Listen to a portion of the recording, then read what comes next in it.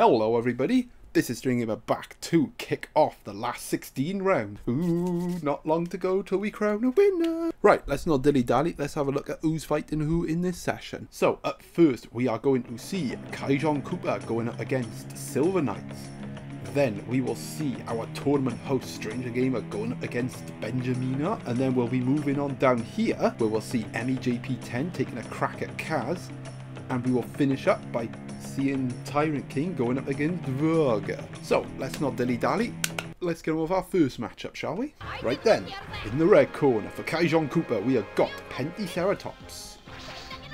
Okay, good field for Kaijon Cooper. Euoplocephalus does get terrain advantage here.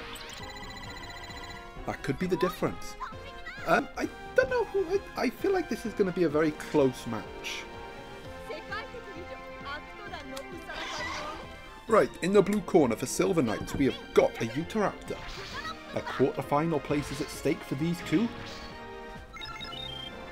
Well, they're, they're, these two are already having their best tournaments, so... well, in terms of my tournaments anyway, these this is the best that both of these guys have done. But can they go that one step further and get to the quarters? Right, that's a tie. Ooh, Pentaceratops strikes first. A Galley Rush coming in. A, a Thunder Bazooka activating. Silver Knights on the back foot. Okay, Dino Illusion does get triggered though. But it's a good start from Kaijon Cooper.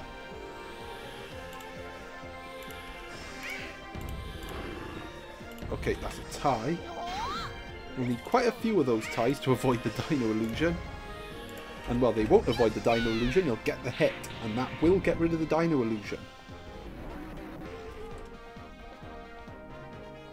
But this is a good start from Kaijon. And that is curtains for Utahraptor. And just like that, Kaijon Cooper racing into a lead, early lead.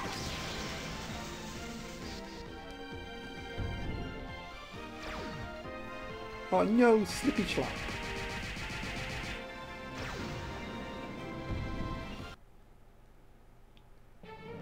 Right then, coming in next for Silver Knights we got, well, Pentaceratops. Gonna fight the Penty with Penty. But it has been all Kaijon Cooper in this match so far. Silver Knights yet to get a hit.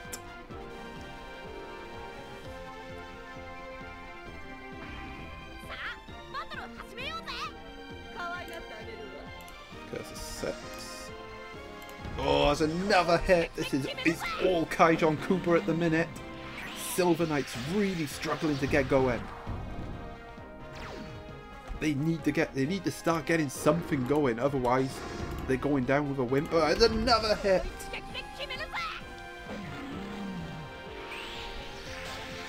Well, it... Card Silver Knights, get a hit on the board, man. Okay, please give him a crit. Ah, there we go. Thank you, random number generator. And that is Silver Knights' first shot of the match. And it is a crit, so it is quite a big one. But they needed this. Can they build on it? Okay, there's another hit. That's going to max up the elemental power. That should... Oh, it's not going to be enough to take out the uh, Pentaceratops. But this is, this is better from Silver Knights. And that tile do it. Well, the Pentaceratops will still go down because Euoplocephalus has terrain advantage. Right, coming in next for Kaijon Cooper, we got Euoplocephalus It's got terrain advantage, it's going to get the next hit, it's going to be a scissors hit.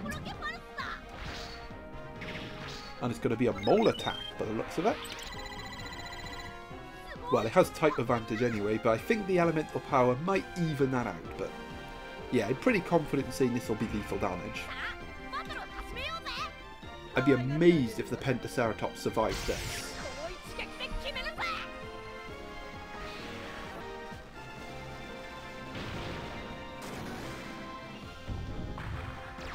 Yeah, yeah, didn't think it would. right then, coming in food for Silver Knights, we have got Spiny Dinotector. Well, we can't count Silver Knights out yet. This, we've seen it before. Dino Tectors can turn matches 180. And if, it, if he does get past the Euoplocephalus relatively quickly, this thing does have type advantage over that Torvosaurus. And remember, we've seen it before in this tournament. I think it was Aaron plays Spinotector. It caused Kaijon all sorts of problems. I think that match ended in a draw.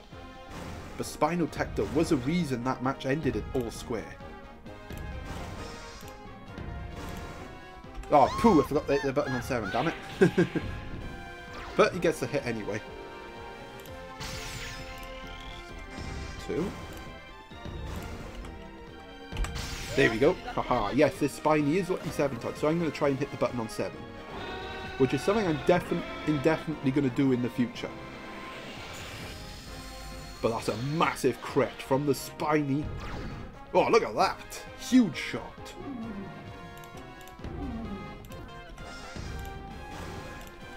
Well, just like that, all of a sudden, Kaijon's lead is gone. The Euoplocephalus is gone. Well, it's definitely going down after that shockwave. Right, so Spiny will be going for paper. And as for Kaijon, well, they're going to get hit. It's an alpha dice. And just like that, Silver Knight's leveling the score. of course they get a 6. of course there's a 6 right when they don't need it. But what's more worrying for Kaijon, that Dinotector bar is almost full. Right, coming in third for Kaijon Cooper, we got Super Torvosaurus, Awaken Mode on 3. It's got type disadvantage against Spiny. So, you'd have to say, for the first time in this match, Momentum is with Silver Knights. One Ultimate Water ends this match. Can Kaijon Cooper at least survive to, to get a chance at an awakened hit? That's not good. A Futaba Cannon, a possible shockwave to come as well. This is really not good. Oh, look at that! There's the shockwave! The momentum of this match has done a 180 and is well in Silver Knights' favour now, and it is Dinotech time. And well, Kaijon is now, well, well, they were well on top early on in this match, but now they're on the brink of the exit. Spiny Tector causing him all sorts of problems yet again. And well, the shockwave rule. Right, scissors. Can they get a scissors? I can't! It's an ultimate water! And it's an ultimate beat beating! And, oh, there's a lag. And Kaijon Cooper is gone! Silver Knights comes from behind to get the win and go through to the quarterfinals. And yet again, Spiny Tector being the nemesis of Kaijon Cooper. Well, that was an entertaining match, wasn't it? Right, here we go. On to my match now. well, here we go again. Okay, in the red corner, for our host Stranger Gamer, we got Tsintaosaurus. And why is the lava green? That's odd. anyway, anyway, this is a volcano field, so Benjamenar does get terrain advantage, courtesy of the Carcharodontosaurus in third. That could be key for them yet. Right, in the blue corner for Benjamenar, we got Super Carnotaurus, Awaken Mode on 2. Now, they do get type advantage in this matchup, so this is given they're on this field as well, this is probably a very good matchup for them. And well, every time I've written them off in matches, they've won. So I'm going to say that I'm not going to write them off this time, and I'm going to say that they're going to win comfortably. Aha, reverse psychology. right, let's see what happens. Ooh, good start from the host, getting the first shot on the board. Badoosh. Now I do have the elemental power to counter the type advantage he has. And I do know that Carnotaurus is all about the crap. Oh, that's going to max up the elemental power. The defense boost is going to activate. This is good from Tsintaosaurus. Let's see how hard your Carnotaurus hits now. Well, again, one awakened crit, and that Tsintaosaurus is dead. Uh-oh. Oh, that's alright. Okay, it's a tie though, it's a tie, so I do Tsintaosaurus does take a fair bit of damage. Okay, there's scissors. Another tie. But Benjamenar won't mind that. And they do get the hit. A Liliencuor. But yeah, very little damage done. Given that's an awakened hit as well, the defense burst really helping. But hang on a minute, it's a jet shuriken.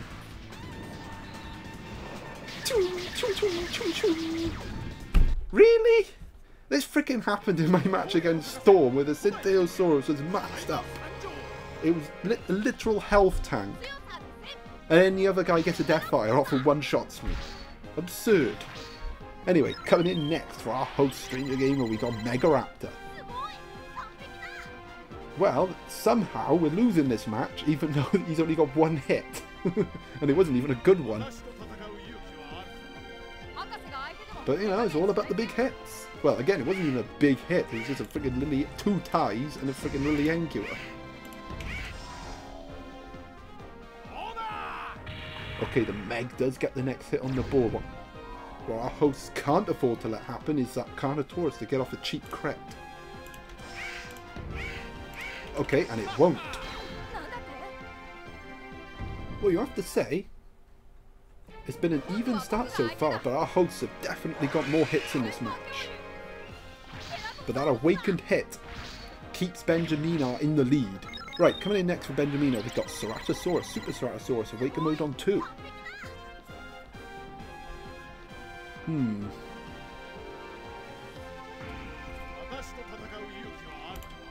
Let's see what happens here. Okay, that's a tie. Getting quite a few ties in this match. Oh, Mega Megaraptor getting another hit on the board.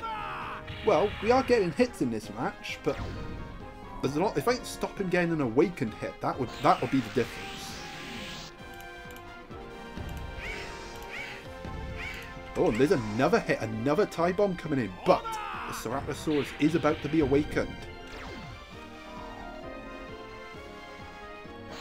Oh, damn it, I wanted a Cyclone here. So this is going well, but one awakened hit and Benjamin can be back in front. Oh, but they don't get it this time. This time the Megaraptor's ready for it. No awakened hit from Benjamenar this time. And a Cyclone as well. And, and it finally looks like our host is building on the momentum they got. Oh, the random number generator's having a five minutes. Okay, it's a two and a five, so that's going to be a tie. Which, oh, well, the Cyclone activates anyway, so the Ceratosaurus goes down. Right then, coming in third for Benjamenar, we got Carcharodontosaurus. We dare not count them out yet. This cat does have type advantage. It's got terrain advantage. It's going to get the next hit in this match. And remember, Benjamenar was in this situation against Sunlight Rabbit. They came back to win. So we won't dare not count them out yet. And I have to say, this has probably been the most impressive Kark in the tournament. So I am very, still very wary. Okay, no Volcano Burst though. Oh, there's another hit. Is Benjamenar gonna do it again? This freaking Kark has been MVP for them, gotta give it. And there's a hit. That's downs the Megaraptor. I would have liked a hit on him, but oh well. right, coming in third for our host, we have got a Rhinoceratops. Come on, buddy. This is your time to shine. You've been utterly useless this entire tournament, but he needs to perform here.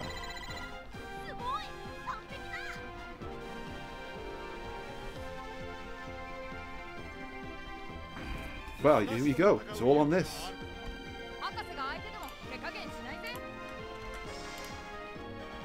Okay, there's a crit. That's a good shot from the host. Attack boost gonna activate. Hopefully we'll see electric charge as well. Please? Ah, oh, damn it. but I don't mind, I'll take that. At this point, I'll take any hit. Oh, that's a tie.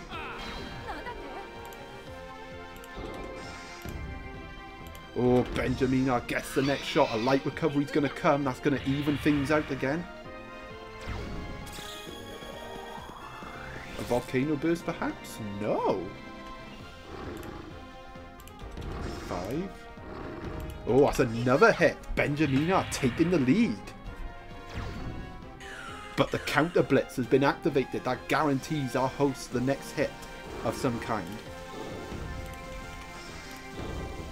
Okay, well I get the hit anyway. The attack boost is going to activate. Hopefully electric charge will activate. And, we, and it does. Oh, this is going right down to the wire. Look at this. This is neck and neck. It's just who's got more gas in the tank. Oh, that's a tie. Come on, Rhinoceratops, you can do it. And it's Stranger Gamer getting the hit. The hosts are going through. A Rhinoceratops does something useful for the first time this entire tournament and takes out Benjamenar to advance to the quarterfinals. But I have to say, Benjamenar put up a really good fight. That even though he wasn't getting many hits early on in the match, I definitely got way more hits than he did. He hung in there.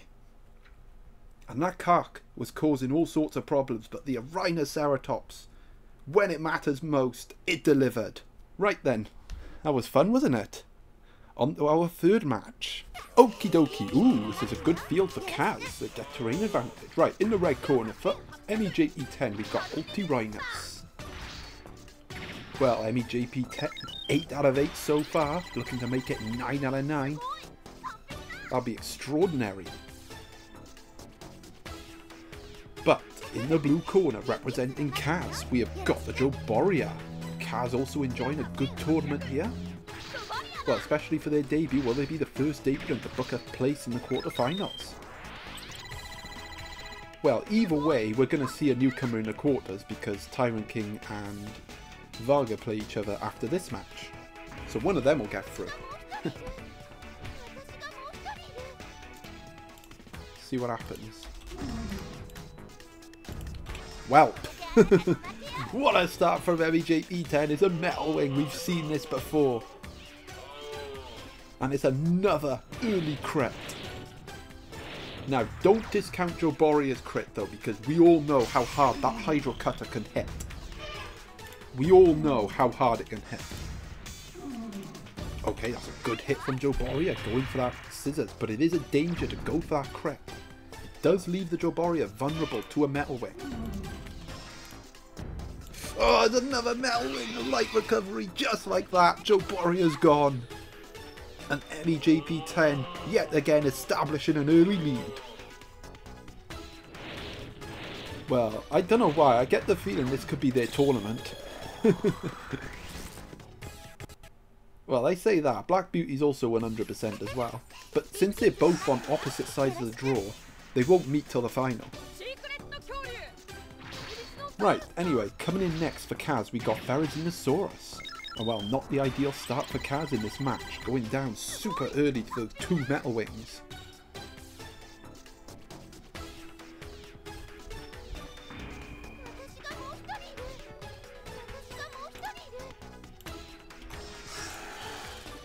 Okay, there's a hit on the board and uh, Elemental Power going to activate.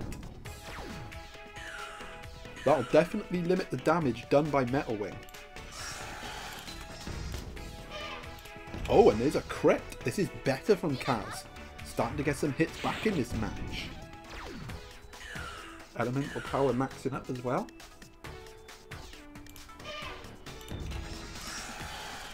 Okay, that's a tie. And there goes Ulti Rhinus. This is a good good response from Kaz after going down early. Right then, coming in next for EmiJP10 we have got the Euoplocephalus. Well, this Euoplocephalus really has performed in the last couple of matches. Hmm, And do take into account Kaz does get terrain advantage in this match because they have Alpha Chasmosaurus waiting in third. It's a tight? But they have done very well to close this gap on EmiJP10, but EmiJP10 does get the next hit on the board, and they do get off an elemental power of their own.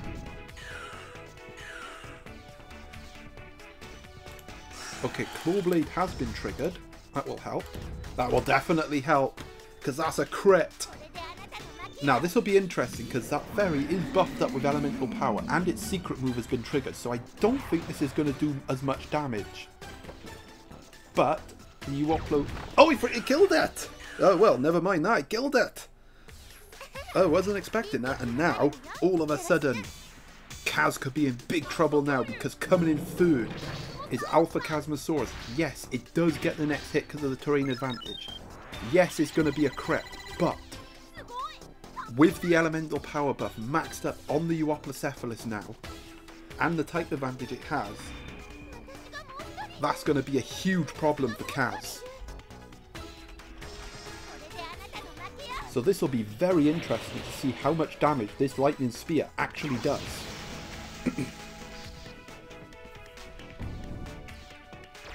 oh wow, that was a crit as well. Really not good for a Kaz. I mean, it's a hit, but yeah, again, look at that, an electric, they need an electric charge really. And how many of those hits are you going to get before Emmy gets a next a hit like that? And look at that, look at the difference. That's the type advantage for you. The Earth Barrier is coming in as well. EmiJP10 has really turned the screw on this match. And I'd have to say is well on top. Okay, a rock hit is really what Kaz needs. Okay, that gets rid of the Earth Barrier. An electric charge, that's very welcome. That's going to definitely help. As will the Rock Rock buff if Kaz gets this next hit. And they do! This could be a big hit from Kaz. And look at that, he killed it! Massive hit from Kaz. Could that be a turning point? Right, coming in third for EmiJP10, we've got Torvosaurus. Well, to be honest, I didn't think they'd get the Torvosaurus. Given how stacked that Euoplocephalus was. But, Kaz got that perfect shot there to take out the Euoplocephalus. Could that be a turning point?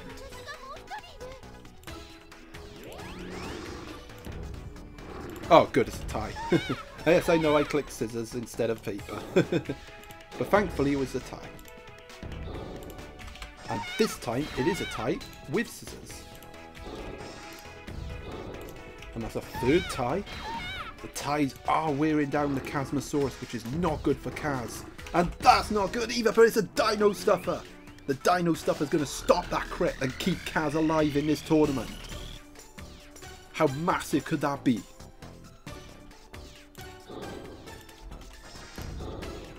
Oh, and Kaz does get the next hit on the board.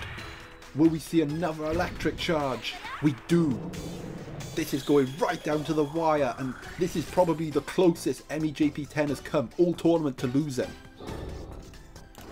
Is Kaz gonna break their winning streak? Yes, they are! Kaz has done it, and EmiJP10 is going out. The winning streak ends at 8 and it is Kaz going through to the quarter-final round. And what a win for Kaz. You know, the Dino Stuffer kept them alive. That big hit with the Paper Paper buff on the Euoplocephalus kept them alive. Two massive moments in this match that swung it in Kaz's favour. And EmiJP10, they've had a memorable tournament. It's been a brilliant winning streak, but they are bowing out and not to mention terrain advantage as well. Not that that made much of a difference, but it is a difference. Well, that was a really good match. Right, on to our fourth and final match of this session. Right then, in the red corner for Tyrant King, we have got a, a black T-Rex. Um, okay, there's no wind types in this matchup, so there'll be no terrain advantages.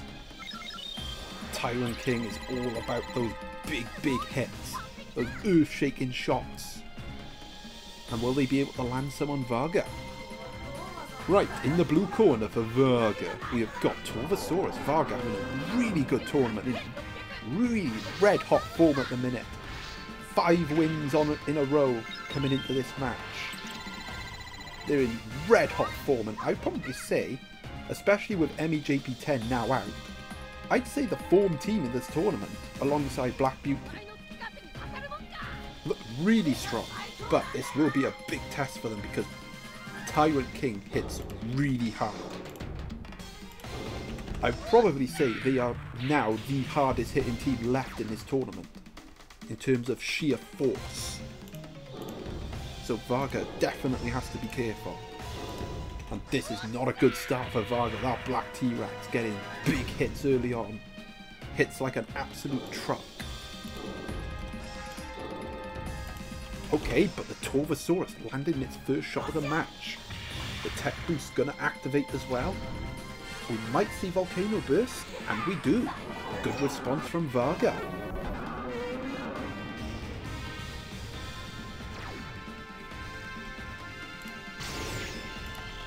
Five. That's another crit, just like that. Varga coming back into this, maxing up the technique boost. And a volcano burst here. Oh, there's no volcano burst. That does leave the door open for the death fire to be triggered. And the death fire to be activated. Well, it doesn't matter anyway because one hit from the black T-Rex would have taken out Torvosaurus, but it's cool to see it get off a death fire. More for the style points. oh no! Unfortunately, yeah, unlucky there from Varga because they could have easily got off a volcano burst.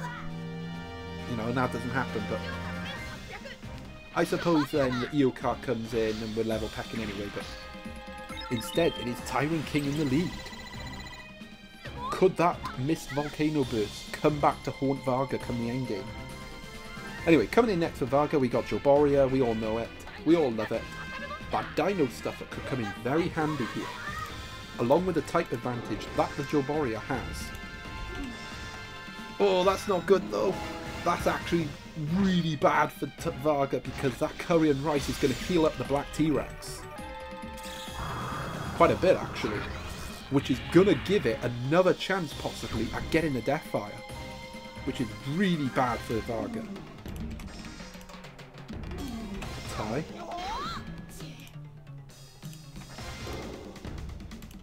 Oh, and it gets off a magma blaster. That volcano, that missed volcano burst is proving really costly at the minute. The Jobaria just can't land a shot. Okay, there's a shot, and that should be lethal. And it bloody well is. But that black T-Rex definitely did some damage. Right, coming in next for Tyrant King, we've got Super Eocarcharia, Awaken Mode on 3.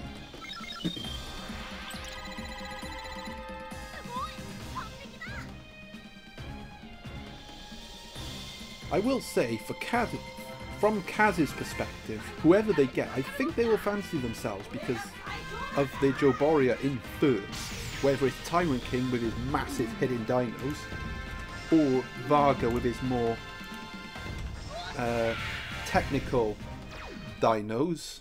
Don't really know what to say. I think Kaz will fancy himself, but at the minute it looks like it's going to be Tyrant King, but it's still a long way to go yet.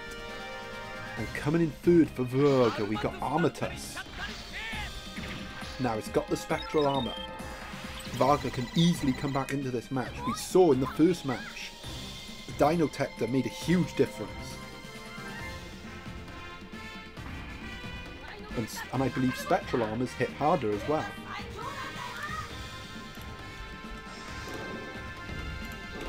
There's a tie.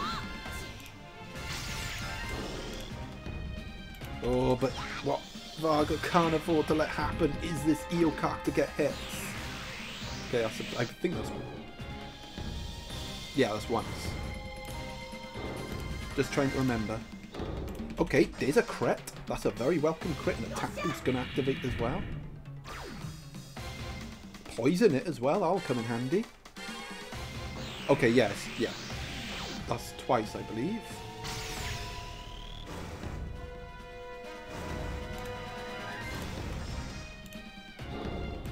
Oh, and that's another attack boost. It's going to be awakening time for the Eocarcharia. Well, one hit here ends this match. Can Varga survive? I think he can. Yes, he can! The tie did do some damage to Armatus, but the Eocarcharia goes down, which is the crucial bit. Right, coming in third for Tyrant King, we've got Ankylosaurus. Can Tyrant King finish the job here? One hit from the Armatus, and we will see Spectral Armor. And then all of a sudden, Vhagar with a chance to win this.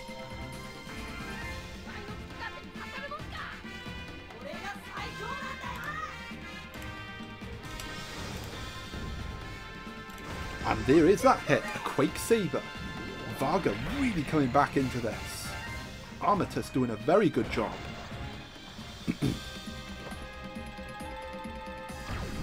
and look at this all of a sudden! And with the spectral armour, it's in Vhagar's hands now. Well, here we go. It's all on this. But one Gaia Mountain from Tyrant King can win it for him. But momentum certainly with Vhagar at the minute. All down to this. Oh, he's going for it. Oh, that's a tie. Don't think either of our guys have Sand Trap.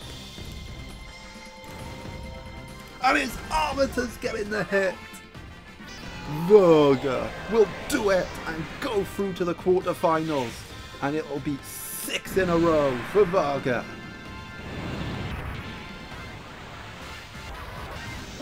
And Tyrant King will bow out at the last 16 round. Boosh. Well, that uh, missed volcano burst not proving costly in the end there for Vhagar. right, that's going to conclude the matches. So I'll have a look at our two quarter-final matchups and we'll end the session. Well, that's our quarter-final lineup, ladies and gentlemen. Well, two of the matches anyway. So it's going to be Silver Knights taking on our host, Stranger Gamer. And down here, it is going to be Kaz going up against Vhagar, which is going to be a really exciting match because since both of these two are newcomers in this tournament, so one of them is going to get to the semi-final. And what a run both of them have been on, particularly Vhagar. And well, we could actually have a rematch. But we'll see what happens. We got uh, this side of the bracket to do first, and we will do that in part two. So until then, ta-ta.